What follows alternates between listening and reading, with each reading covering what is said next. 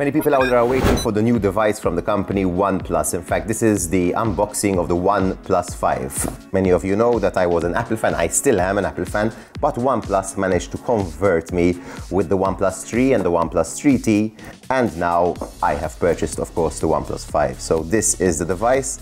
As you can see straight away from the front, it looks very similar to the OnePlus 3T. It looks practically identical. As always, OnePlus include a pre stuck screen protector, which is very useful because many of us, when we come to do that screen protector, end up having lots of bubbles underneath the screen. Something I noticed straight away, uh, they've done it before, but also this time OnePlus are using a very Apple style packaging system where everything is very compact.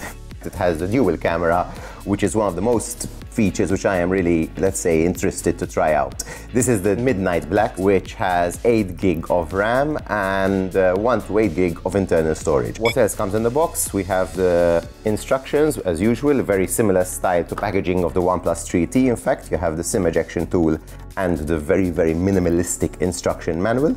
Also over here, I'm seeing some form of picture, which is a postcard. This is shot on the One Plus. So in fact, this is an image which has been shot with the camera of the OnePlus 5, obviously to boast the quality of this camera. And at the back, there is a message by this co-founder and CEO. And then, of course, keeping tradition of the OnePlus 3T, you have the dash charger. Reason of this being so big is because it has all the mechanics and electronics inside, which does not allow the device to heat up. Instead, this heats up.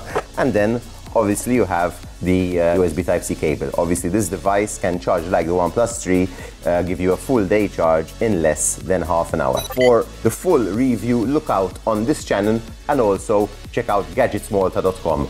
Also, please press like and subscribe to keep updated with all the latest technology which we review on Gadgets.